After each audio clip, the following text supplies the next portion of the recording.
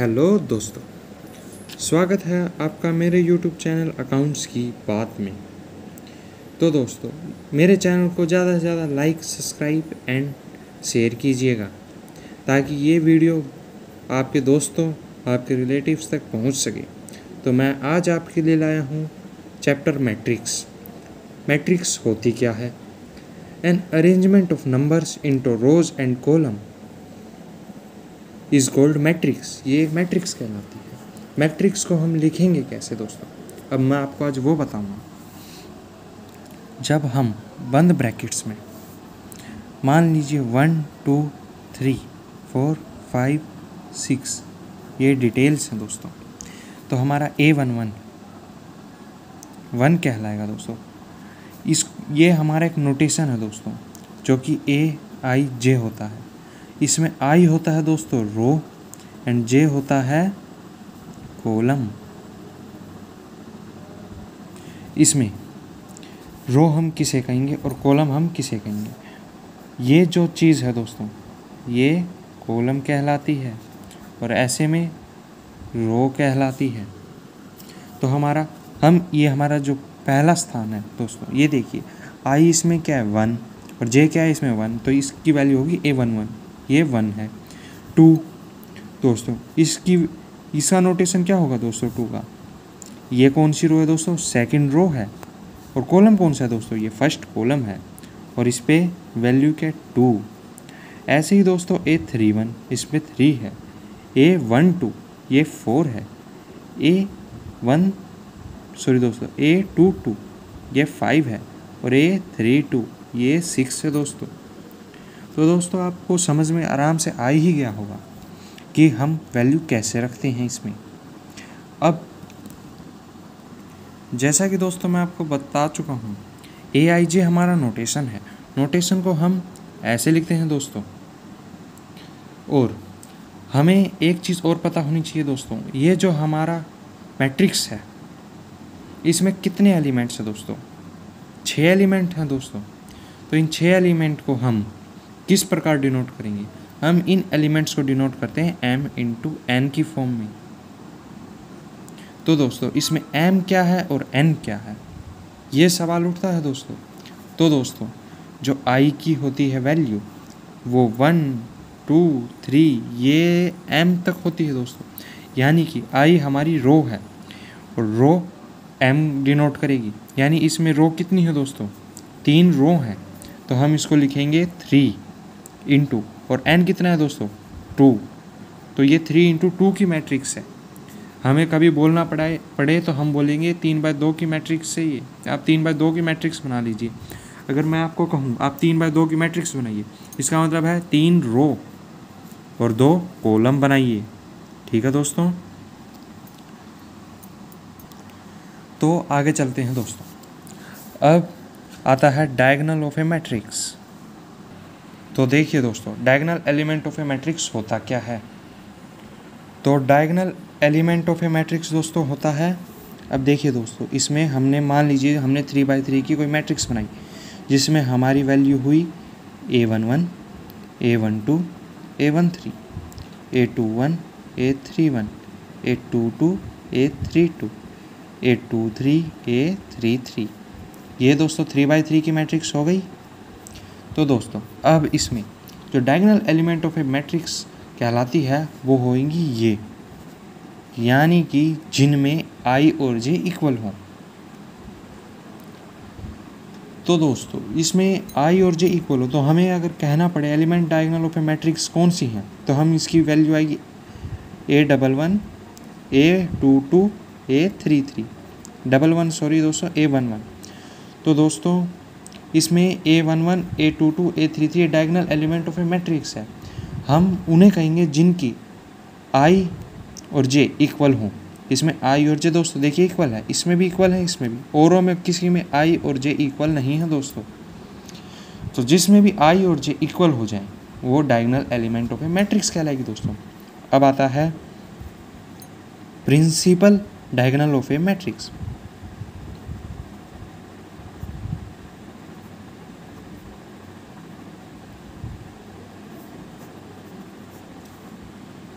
तो दोस्तों, अब ये क्या होती है?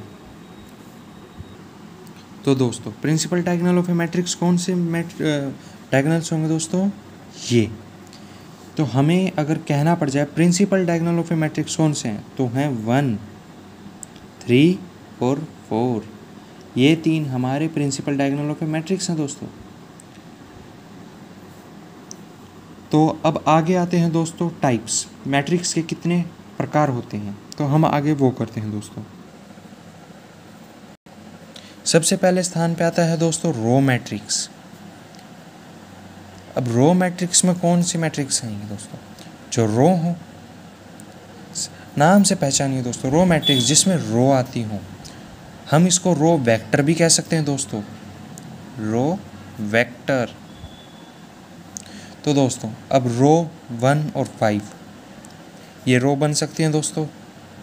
तो दोस्तों, ये कितने मैट्रिक्स है दोस्तों? ये वन बाय टू की मैट्रिक्स है दोस्तों। अब दोस्तों, एक मान लीजिए वन, ज़ीरो, थ्री हो दोस्तों। तो ये दोस्तों, कौन सी मैट्रिक्स है दोस्तों? ये वन बाय थ्री की मैट्रिक्स है दोस्तों। इन्हें ऑर्डर कहते हैं दोस्तों। अगर मैं कहूँ, ये कितने ऑर्डर की मैट्रिक्स है? तो ये वन बाय थ्री ऑर्डर की मैट्रिक्स है दोस्तों। तो आप आराम से समझ गए होंगे दोस्तों, मैट्रिक्स में रो मैट्रिक्स हम किसे कहेंगे, जिसमें हम रो को जोड़। अब दोस्तों, अगले नंबर पे आता है कॉलम मैट्रिक्स।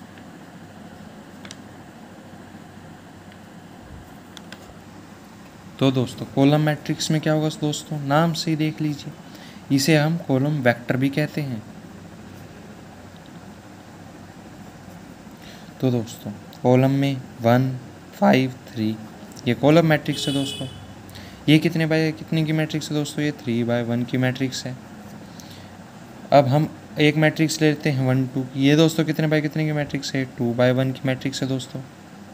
तो दोस्तों, आप कॉलम मैट्रिक्स के बाद हम लेंगे रेक्टेंगुलर मैट्रिक्स दोस्तों।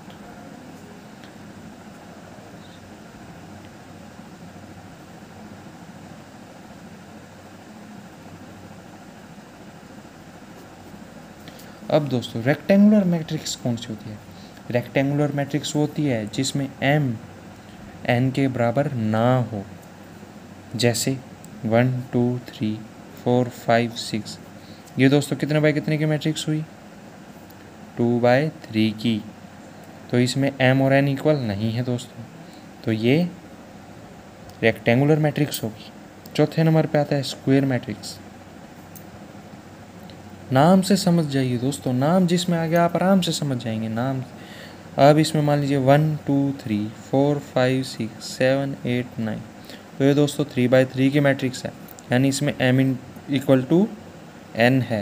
तो ये हमारी स्क्वेयर मैट्रिक्स है। एम इक्वल टू एन मैंने आपको बताया था एम और एन हम ऑर्डर को कहेंगे। एम हमारा उसमें आई होगा मतलब कि रो और एन हमारे कॉलम को डिनोट करेंगे। इसमें कितनी रो हैं? तीन रो हैं और तीन कॉलम है दोस्तों। इसके बाद दोस्तों आता है डायगनल मैट्रिक्स अब डायगनल मैट्रिक्स कौन सी होती है दोस्तों? डायगनल मैट्रिक्स वो मैट्रिक्स होती है दोस्तों, जिसके डायगनल को छोड़ के बाकी सब एलिमेंट ज़ीरो हों। वो हमारी डायगनल मैट्रिक्स है दोस्तों। ये स्क्वायर मैट्रिक्स टाइप में होगी मतलब कि three by three two by two four by four तो दोस्तों, ये थ्री बाई थ्री की मैट्रिक्स है और इसमें डायगनल मैट्रिक्स को डायगनल को छोड़ के बाकी सारे एलिमेंट ज़ीरो है। इसलिए डायगनल मैट्रिक्स कहलाई। अब इसके बाद, अब दोस्तों आता है स्केलर मैट्रिक्स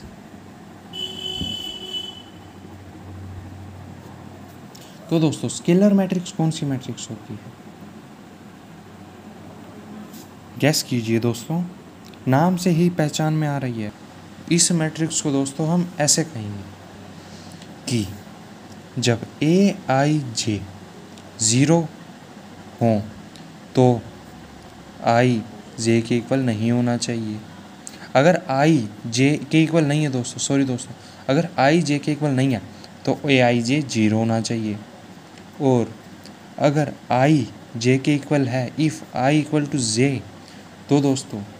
ए आई जे क्या होना चाहिए? के के क्या होता है दोस्तों? सम कांस्टेंट यानी कि दोस्तों सम, कुछ कांस्टेंट वर्ड आ जाए। तो हम एग्ज़ाम्पल के तौर पे ले सकते हैं दोस्तों। कोई मैट्रिक्स है दोस्तों? वो उसके ए आई जे दोस्तों इसके देखिए इक्वल नहीं है तो ये ज़ीरो है। लेकिन जिसके ए आई जे इक्वल है वो कोई कॉन्स्टेंट वर्ड है, लेकिन वो सेम होगा दोस्तों, अलग नहीं होगा। हम थ्री बाई थ्री मैट्रिक्स का देखते हैं दोस्तों ज़ीरो ज़ीरो सॉरी दोस्तों, यहाँ फाइव आएगा। अब कोई भी वर्ड ले लीजिए फाइव टू मर्ज़ी है आपकी दोस्तों। Five zero zero zero five तो ये दोस्तों देखिए, ये स्केलर मैट्रिक्स है। इसके बाद आता है दोस्तों आइडेंटिटी मैट्रिक्स और इसे दोस्तों यूनिट मैट्रिक्स भी कहते हैं।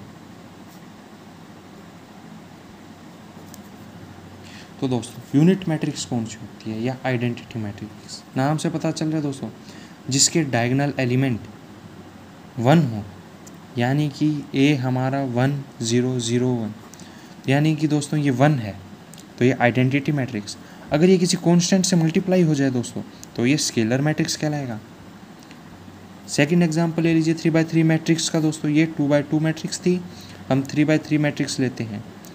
One zero zero zero one zero zero zero one तो दोस्तों, अगर इसमें भी किसी कॉन्स्टेंट से मल्टीप्लाई हो जाए दोस्तों तो दोस्तों डायगनल बदली होंगे तो ये हमारी स्केलर मैट्रिक्स कहला जाएगी। अगर मान लीजिए मैं इसे पाँच से गुना कर दूँ, देखिए दोस्तों, ऊपर पाँच ऐसे आ जाएगा तो ये हमारी स्केलर मैट्रिक्स कहलाई, ये वाली। लेकिन दोस्तों, अगर ये पाँच ना हो वन हो, अगर मैं इस मैट्रिक्स को पाँच से भाग दे दूँ तो ये बन जाएगा दोस्तों और ये हमारी आइडेंटिटी मैट्रिक्स है दोस्तों, यानी कि यूनिट मैट्रिक्स अगली मैट्रिक्स आती है दोस्तों ट्रेंगुलर मैट्रिक्स तो ट्रेंगुलर मैट्रिक्स कौन सी होती है दोस्तों? इसमें भी दोस्तों, अगर आप नाम से जानना चाहें तो आप आराम से जान सकते हैं। कोई दोस्तों, देखिए थ्री बाई थ्री की मैट्रिक्स है। One two three zero minus one four zero zero two ये मान लीजिए, कोई थ्री बाई थ्री की मैट्रिक्स है दोस्तों। तो दोस्तों, इसमें देखिए ट्रैंगल बन रहा है दोस्तों। तो ये ट्रैंगुलर मैट्रिक्स है। अब वो ट्रैंगुलर मैट्रिक्स दोस्तों अपर ट्रैंगुलर मैट्रिक्स भी होती है और बिलो ट्रैंगुलर मैट्रिक्स भी। अगर अपर ट्रैंगुलर मैट्रिक्स है दोस्तों तो ये है। ये अपर ट्रैंगुलर मैट्रिक्स है दोस्तों। और लोअर अगर मैं कहूँ लोअर ट्रैंगुलर मैट्रिक्स मुझे चाहिए तो दोस्तों, वो होएगी one minus two one zero zero three zero two five. तो देखिए दोस्तों, इसमें ट्रायंगल नीचे की ओर बन रहा है दोस्तों। तो ये लोअर ट्रायंगुलर मैट्रिक्स कहलाएगी दोस्तों। और दोस्तों, अगर ट्रायंगल ऊपर की तरफ़ बन रहा है तो अपर ट्रायंगुलर मैट्रिक्स मेरे हिसाब से दोस्तों, अगर ये कॉन्सेप्ट आपको समझ में आ ही गया होगा। लेकिन कोई बड़ी बात नहीं है दोस्तों, इसमें सिर्फ़ अपर और लोअर मैट्रिक्स की बात। इसके बाद दोस्तों आता है ज़ीरो मैट्रिक्स ज़ीरो मैट्रिक्स कौन सी मैट्रिक्स होती है दोस्तों? बहुत ही आसान है दोस्तों। ज़ीरो मैट्रिक्स इसको हम दोस्तों नल मैट्रिक्स भी कहते हैं।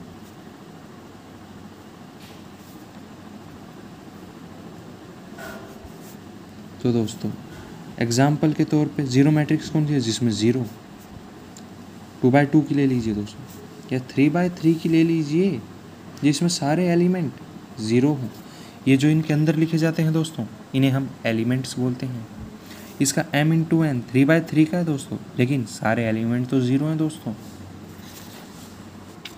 अगली मैट्रिक्स आती है दोस्तों कंपेरेबल मैट्रिक्स